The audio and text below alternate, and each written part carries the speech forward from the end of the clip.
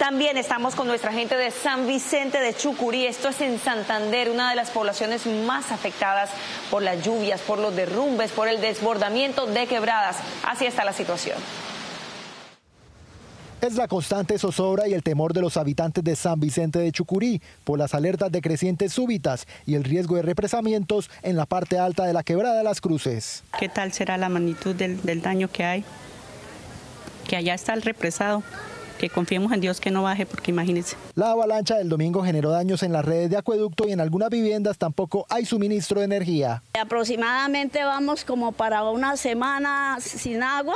No, pues ahorita gracias al Señor los, eh, el ejército bajó eh, con, el con los tanques y nos llenaron las vasijitas de agua. La comunidad se debe abastecer por medio de carro tanques o aguas lluvias, pero el temor es latente cada vez que suenan las alertas. Los avisos que tuvieron ayer, toda gente en zona rural de San Vicente de Chucurí se reportan daños en vías terciarias, puentes vehiculares y peatonales. Es urgente el apoyo para restablecer la comunicación con las comunidades afectadas. Agilizar la maquinaria amarilla, ya la contrató Gestión del Riesgo Nacional necesitamos que llegue al departamento para hacer más obras de mitigación. En San Vicente de Chucurí continúan las lluvias y crece el temor de los habitantes por nuevas emergencias y crecientes súbitas en la parte alta de la Quebrada de las Cruces y La Verde.